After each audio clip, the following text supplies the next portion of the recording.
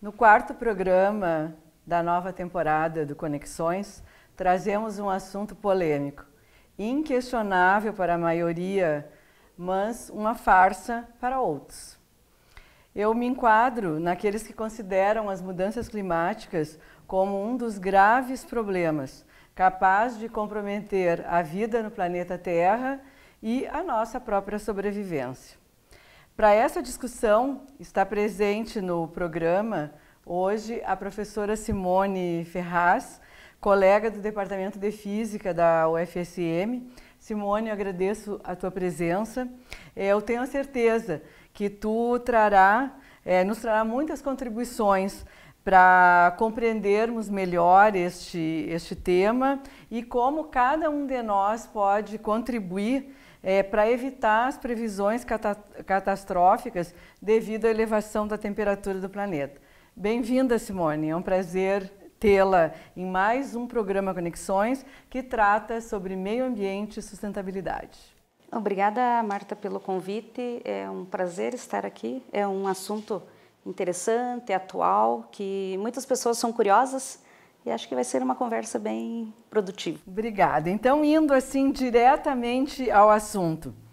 As alterações no clima da Terra, ele, elas são provocadas pela concentração dos gases de, de efeito estufa, que são responsáveis pelo aquecimento global. Quer dizer que a temperatura da Terra está mesmo aumentando? E por que, que essas mudanças estão ocorrendo? Sim, na verdade está aumentando. Quando a gente pensa em efeito estufa, a gente lembra lá das aulas do colégio, né, que a gente estudava que os gases iam para a atmosfera, que era importante ter gás na atmosfera para a temperatura ser agradável. E isso tudo está correto. Qual é o grande problema? É que a partir da era industrial começou a se produzir mais gases do que o planeta tem capacidade de absorver. Os oceanos absorvem gases, as florestas absorvem no, nos, os gases. Só que se a gente produz mais do que a gente consegue dissolver, degradar. degradar, isso vai ficar na atmosfera. E aí esses gases, consequentemente, vão aumentar mais a temperatura do ar. Bom, pode, quem mora lá no São José dos Ausentes pode pensar, puxa, que maravilha, vai esquentar um pouco mais.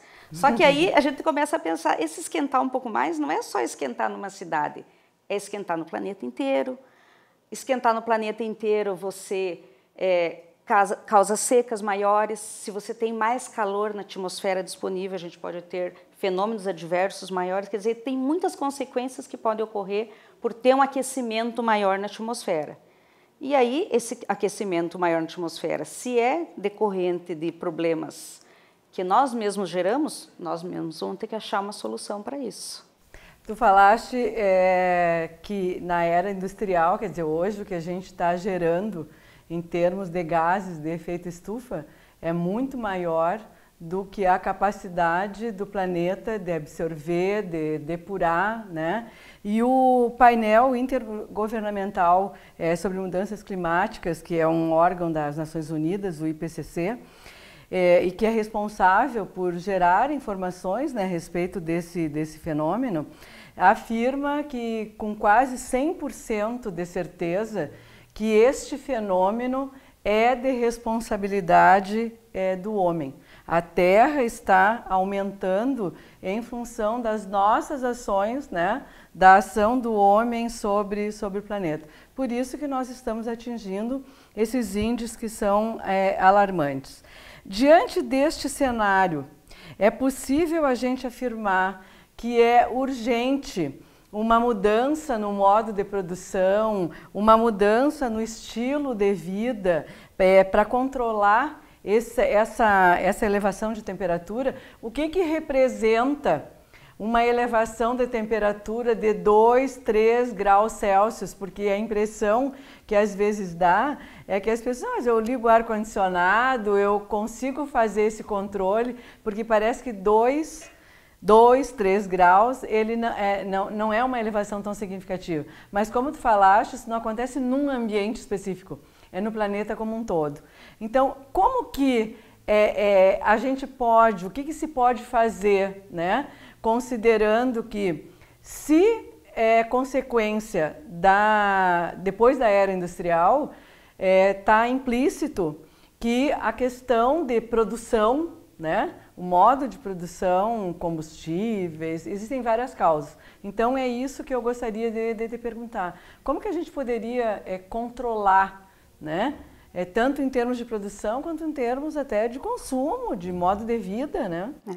Sim, primeiro falando do IPCC, que é o painel intergovernamental de mudanças climáticas. Essa é, foi um avanço nas ciências do clima fora do comum. Os primeiros relatórios saíram na década de 1990 ainda, e, e o que, que são esses relatórios? Simplesmente cientistas do mundo todo se juntam para ver tudo que está sendo feito pelos outros cientistas no, no, país e no mundo inteiro. Então, é o, é o que tem de, de É o top. É o top da arte de, de mudanças climáticas no mundo. E assim, são centenas de pesquisadores de centenas de países, centenas de modelos. Então, quando você pega um relatório que foi produzido por gente do mundo inteiro e que diz é quase 100% de chance ou é altamente garantido, no, o painel de mudanças climáticas usa termos de provável, muito provável e assim por diante, então é muito provável que o aquecimento seja devido ao homem, então a gente pode pensar, não, isso é devido ao homem. E aí a pergunta é, o que, que pode se fazer? Quando a gente fala em era pré-industrial, que antes não tinha tanto aquecimento, e após a era pré-industrial, o que, que aconteceu após a era pré-industrial? a gente começou a queimar combustível fóssil de uma maneira enorme. Os países crescerem, o, o planeta aumentou, você precisa gerar mais comida, só que isso está num ponto que já está insustentável. A gente, por exemplo, esse ano, em agosto, 1 de agosto, a gente queimou todas as reservas possíveis que poderia se queimar nesse ano. Tudo que veio depois disso. É o dia disso, da sobrecarga. É o dia da sobrecarga. Então, e, e cada vez esse dia da sobrecarga está mais cedo. Quando a gente pensa assim, ah, aquecimento 2, 3 graus, se eu penso em aquecimento 2, 3 graus, eu estou derretendo geleiras. As geleiras no, no Oceano Ártico, diferente do Antártico, que é um continente gelado, lá é água congelada. Se você, se você pega aquela água e tem degelo, esse degelo vai fazer o quê? Com que aumente o nível do mar. Você vai aumentar a salinidade, vai diminuir a salinidade, quer dizer, na, nas correntes, você vai diminuir as correntes, por exemplo, a corrente quente que sobe costeando os Estados Unidos e vai para a Europa, se ela diminui, vai ter o quê? Vai ter muito mais frio na Europa. Então a gente vai ter invernos mais extremos na Europa. A mesma coisa acontece no sul, quer dizer, a gente tem um desbalanço total do clima. E aí, qual é a resposta climática disso? O planeta é um planeta vivo. Ele sempre está atuando no sentido de manter o equilíbrio. Eu sempre digo isso para os meus alunos planeta atua no sentido de manter o equilíbrio. Se você desequilibra de um lado, é tem que equilibrar do outro. Né? Exatamente. Então, quer dizer, você vai produzir mais energia, você vai ter furacões mais intensos. Ao mesmo tempo, se você mantém as águas mais quentes no Equador, é um ingrediente para furacão. Você vai ter furacões mais intensos na região dos Estados Unidos, você vai ter tsunamis mais intensos na Indonésia. E aí, como que a gente faz para resolver isso? Não é fácil. Não é fácil você chegar para um país e dizer, oh, agora vocês têm que produzir menos. E principalmente se você vai dizer isso para um país que é um país subdesenvolvido, que é precisa melhorar a sua situação econômica, porque a população está pagando por aquilo, e ao mesmo tempo, se você vai para um país desenvolvido, o país desenvolvido não quer perder as regalias. Ele, uma pessoa não quer, por exemplo, chegar em casa e ter, ah, hoje eu não vou ligar o ar-condicionado porque o planeta está morrendo. Então, é muito difícil de você convencer as pessoas. Isso tem que ser uma ação mundial. Tem várias tentativas, né? A gente lá em 1992, quando teve o, a Eco 92, saiu-se o primeiro relatório, depois a gente teve o protocolo de Kyoto, agora em 2015 teve o Acordo de Paris. Então, são taxativas que os países se comprometem a reduzir as metas. E aí agora a gente já está falando em metas muito mais recentes. A gente está falando em metas de 2030, 2030 está aí. Em 2000 a gente pensava, pai, sei lá para 2100, está muito longe. Não, a gente está pensando assim, se a gente chegar com um grau e meio de aumento em 2030, não tem mais volta. A gente não consegue mais fazer com que a gente consiga recuperar, recuperar. o planeta. Então, nós já estamos com 1,1 graus até o final do ano passado. a, por exemplo, o CO2 na atmosfera, esse ano tá, chegou a 407 ppm, é muita coisa. Então, é urgente que todos os países se comprometam com, essas, com essa ideia de que tem que ser alguma coisa muito global. Localmente, você consegue fazer alguma coisa, mas se o planeta inteiro não não atuar em conjunto para reduzir essas emissões vai ser muito difícil de É porque a gente, a gente percebe é, e, e, as consequências de tudo isso, né? Quer dizer, no momento que tu tem a elevação da temperatura, tu vai ter consequências com relação à água, então escassez de água, a questão de produção de alimentos, né? É, aumento da fome, refugiados ambientais, né? É, a questão do desaparecimento não só de espécies, que isso já é evidente, já tem espécies que são que já foram extintas em função da elevação da temperatura, é, desaparecimento das cidades e a gente tenta colocar acho, alguns exemplos, né?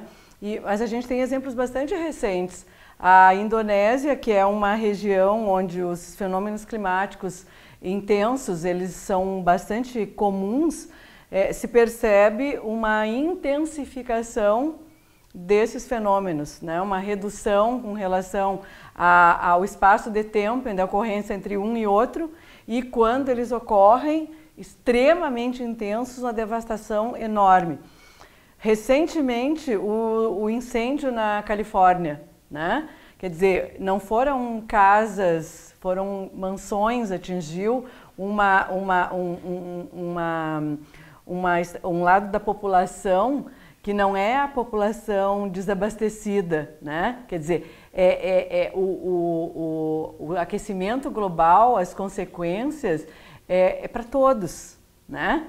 É, e esses, todos, todos esses exemplos que a gente está dando, né? O aumento do nível dos mares, um, isso são avisos, isso são sinais que a coisa ainda pode piorar, Sim, isso já são consequências do aquecimento que, que o planeta está sentindo. Por exemplo, a região da Califórnia, onde está tendo esse grande incêndio, ela já vem sendo afetada por incêndios há muitos anos.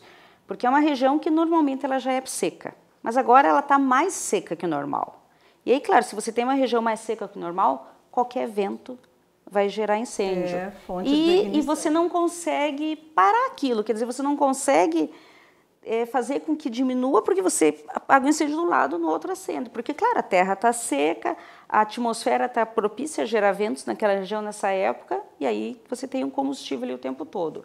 Região da Indonésia é a mesma coisa. A região da Indonésia é uma região onde a gente tem muita convecção se formando no oceano, é muito próximo dali da região, é uma região conhecida, né, perto do, do Pacífico, onde a gente tem a piscina com as quentes do Pacífico, então você já tem uma região que forma tempestades. Você aquece mais ainda, você vai ter tempestades maiores, tempestades mais intensas. No sul, aqui mesmo, a gente vê isso o tempo todo.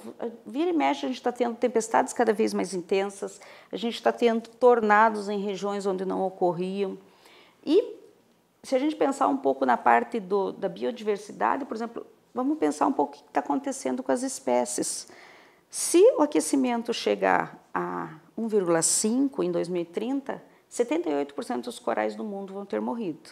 Se chegar a 2,3, que era o primeiro limiar que, a gente, que tinha sido proposto no, no Acordo de Paris, 100% dos corais vão morrer. A gente pode até pensar, ah, vai morrer o coral, tá, que pena, não vou conhecer o coral.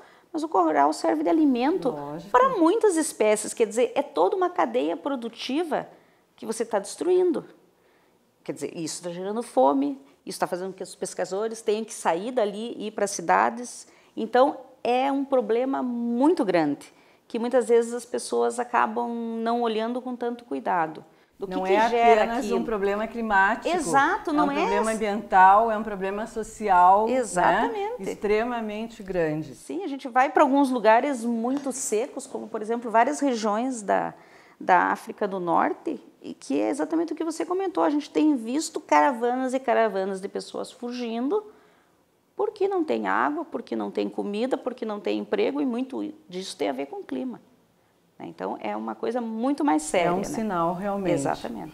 Faremos um pequeno intervalo e logo retornaremos ao programa Conexões, hoje conversando sobre mudanças climáticas e aquecimento global. com a professora Simone Ferraz, do Departamento de Física da UFSM. Não saia daí, voltamos já.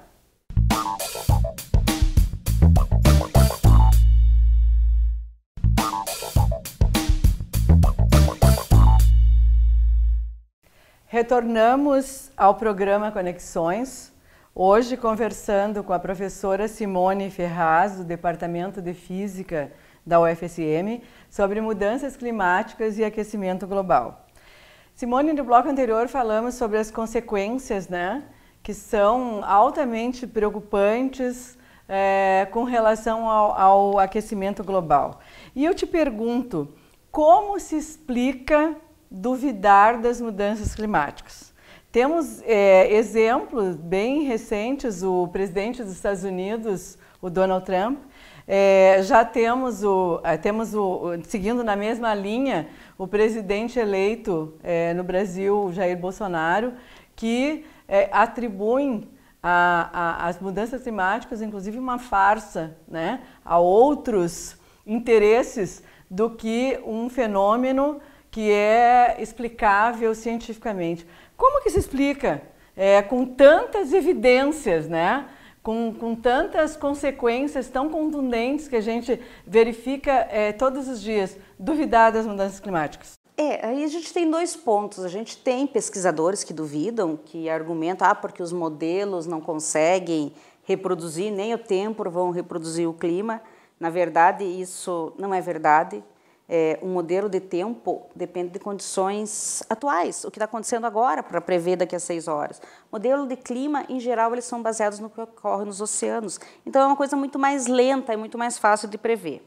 Então, essa seria uma das desculpas para não se acreditar. Outra desculpa que a gente ouve o tempo todo, ah, mas a gente tem as variabilidades naturais do clima, isso aí é só uma, um período que está passando mais quente depois vai esfriar.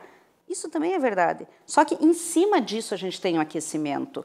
Todos esses fatores são levados em conta quando é previsto que um aquecimento de um grau e meio pode ser muito catastrófico. E aí, quando a gente vai para o lado da política, isso é política. Quer dizer, um presidente que quer fazer com que o seu país se reerga, ele vai dizer que não acredita em aquecimento global para poder poluir mais. E nos Estados Unidos é mais complicado, porque é o segundo maior poluidor do mundo, seguido da China. E no Acordo de Paris, quando foi assinado o Acordo de Paris, que os Estados Unidos entrou, somente o presidente decidia. O Senado não precisava decidir que sairia do acordo. Então, a hora que ele resolveu, eu vou sair do acordo, eu vou sair do acordo, ele acabou com todo o financiamento de pesquisas em mudanças climáticas nos Estados Unidos. Isso é muito grave, porque grandes pesquisadores estão tendo que sair dos Estados Unidos.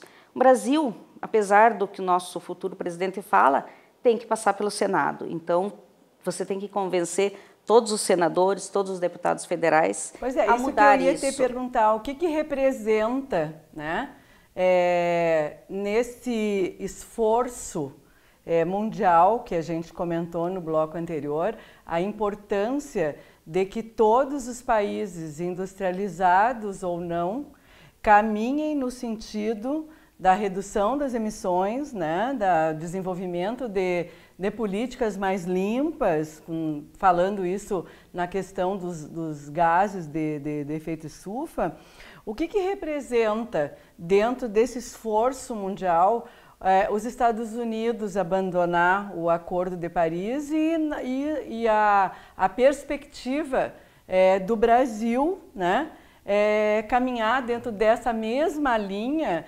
considerando que nós somos um país com uma grande diversidade, onde a proteção desse capital natural, é estratégico para o próprio país. Né?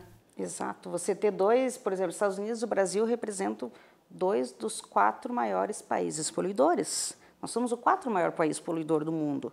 Então, você tira os Estados Unidos, que é o segundo. Se o Brasil sai também, quer dizer, você vai ter uma grande quantidade de ações que estavam sendo tomadas, que tinham sido propostas, que tinha sido feito acordos de, de ocorrer, porque não basta não poluir. Você tem que não poluir, mas você também não pode deixar o país vizinho morrer de fome. Então tem que ser uma política global, de modo que aquele país que está deixando de jogar gás de efeito estufa não vá dizer para o país que está subdesenvolvido, ó, vocês têm que parar também.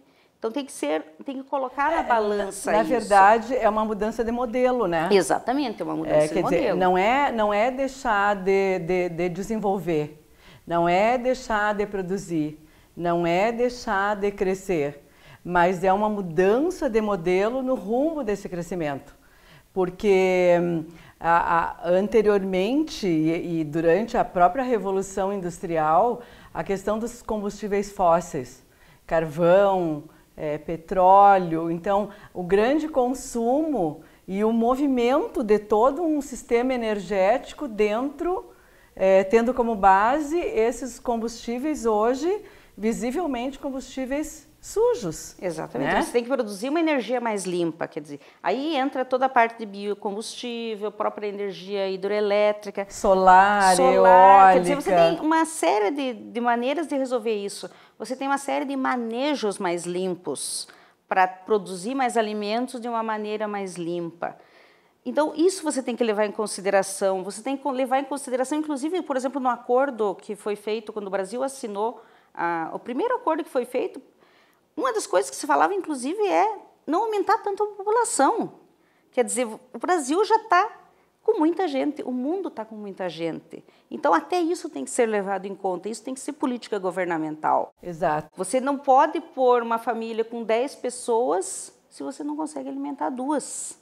E oito vão estar passando fome. Então, isso também tem que fazer parte das políticas. E o próprio, e o próprio modelo, é, se a gente pensar nessa alimentação, né? Então, como que essa alimentação ela acontece? Hoje, gente, hoje os estudos mo mostram que a produção de carne, né, os grandes rebanhos pecuários, eles são também fontes expressivas para o aquecimento global. Então, há uma necessidade né, é, de rever o modo de consumo. Então, é, é, é às vezes, a impressão que eu tenho quando as pessoas é, falam de aquecimento global ou, ou não se importam com o aquecimento global, a impressão é de que isso é coisa de governo. Né? Isso, não é, isso não atinge a minha vida, né? E na verdade não, porque as minhas escolhas elas movimentam um sistema. É claro, é? como que você vai para o seu serviço, se você vai a pé, se vai de bicicleta, se o ônibus passa na porta da sua casa, mas o você que prefere que de carro, o que, que você come, o quanto que você desperdiça do que você come. Exato. Tudo isso faz parte do Então, essas, é, é esses ações. aspectos, eles são também de responsabilidade do cidadão, né? E a gente também precisa é, não basta apenas os acordos, né? É claro. É necessário que nós vivemos dentro de um sistema. O próprio planeta, como tu bem colocaste, ele é vivo. Então, ele vai tender a equilibrar a, em todos os impactos que ele, que ele receber. Então, significa que o meu modo de vida, ele também ele é importante nesse, é, é nesse sentido. Então, a, a, a, eu, eu, te pergunto, é, tu falaste em acordo de Quioto, é, tu falaste em acordo de Paris, é, esses acordos, a importância desses acordos dentro desse contexto que a gente está falando, de sensibilizar as, as pessoas né, para esse, esse problema e o meu papel também enquanto, enquanto habitante desse planeta e necessitando dessas condições para sobreviver.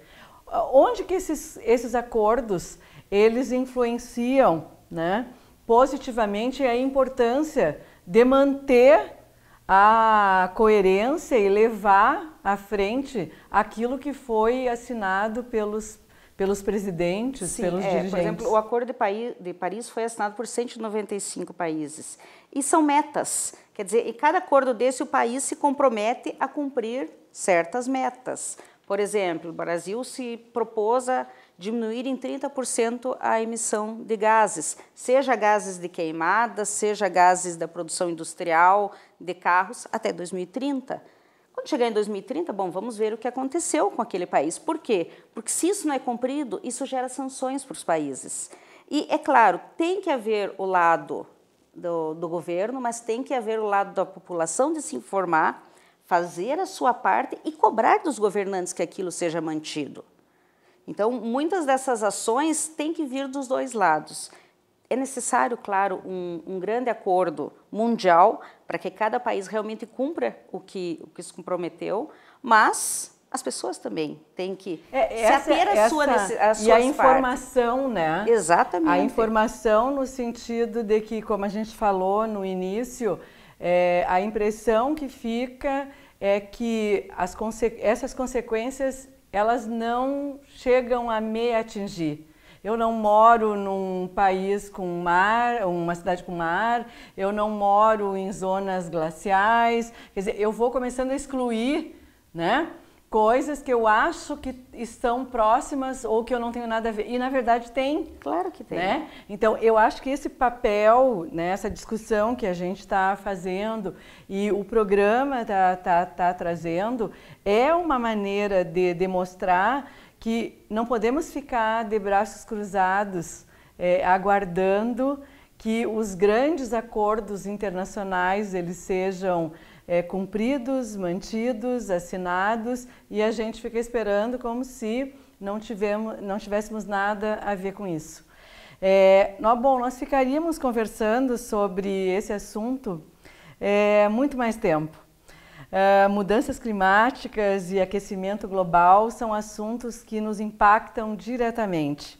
E mais um programa Conexões chegou ao fim. Simone, eu gostaria de, sendo hoje o último programa dessa temporada, é que tu deixasse um recado, então, para os nossos telespectadores, de que forma cada um de nós pode contribuir para que as consequências do aquecimento global eles não se, não se concretizem, ou pelo menos eles sejam controláveis. Eu acho que, como eu falei, as pessoas precisam se informar, se informar seja pela internet, seja por livros, seja por revistas, porque a partir do momento que a gente se informa, a gente começa a se importar.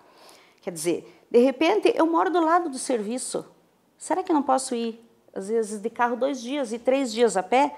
eu vou estar emitindo menos gases de efeito estufa. Qualquer Ou, redução Qualquer é redução importante. é importante. Ou se eu posso ir de ônibus. Uma segunda sem carne. Exatamente. Um Uma segunda carne. sem carne, cuidar na hora que vai preparar o alimento para não jogar alimento fora. É, é, a água que a gente desperdiça, é a energia que a gente deixa ligada, é, o aparelho que fica ligado na tomada sem ninguém em casa. Então, são pequenas atitudes que, se cada um fizer a sua parte, fica mais fácil do país cumprir suas metas e aí o Brasil dizer, não, nós fizemos a nossa parte, nós podemos cobrar dos outros países também essa, essa diminuição nesse, nesse efeito do aquecimento global, de modo que, como um todo, o, país, o mundo inteiro saia ganhando. Mas é necessário realmente cada um fazer sua parte. As pessoas têm que se conscientizar de que é muito importante olhar um pouquinho para o lado e ver que o, o, o planeta é nosso. É Pensar coletivamente. Pensar né? coletivamente, acho Na que verdade, essa é não podemos nos eximir da nossa responsabilidade individual dentro de um planeta que é global. Né? Exatamente. Né? Quer dizer, vivemos coletivamente, então essa responsabilidade eu não posso olhar até o portão da minha casa. Eu tenho que ampliar esse, esse olhar. Exatamente. Bom, eu agradeço Obrigada. a presença da, da Simone, essa conversa maravilhosa, super proveitosa. E mais uma temporada é, do programa Conexões chegou ao fim. Eu agradeço a equipe que me acompanhou, aos entrevistados e especialmente a vocês que nos prestigiaram em mais uma temporada do programa Conexões, no qual trouxemos temas relacionados com meio ambiente e sustentabilidade. Obrigado pela companhia e prestígio. Aproveitamos para desejar a todos um ano de muita paz e responsabilidade ambiental. Feliz 2019!